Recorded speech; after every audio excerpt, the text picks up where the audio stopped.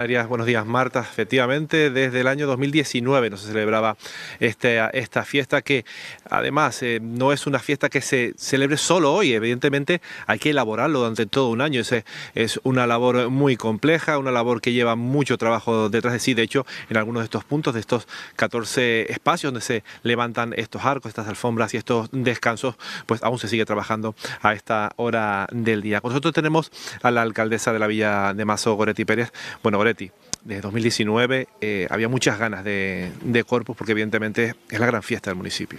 Hola, buenos días. Sí, desde 2019 que no pudimos eh, seguir celebrando Corpus Christi. Este año regresamos además con mucha más ilusión, más energía y volvemos a, levantar los arcos, las alfombras, el tapiz y además muy, muy ilusionados después de, lamentablemente, de ese parón. Bueno, eh, ¿qué es lo que puede encontrar el visitante que llegue en, un día como hoy aquí a la, Villa de Más?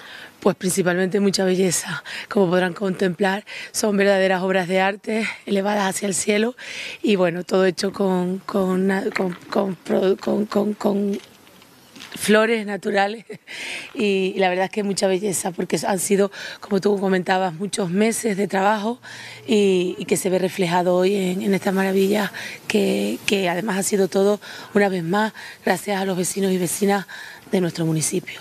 Hay una cosa eh, siempre destacada en esta fiesta y es la tremenda implicación de, de todos los barrios.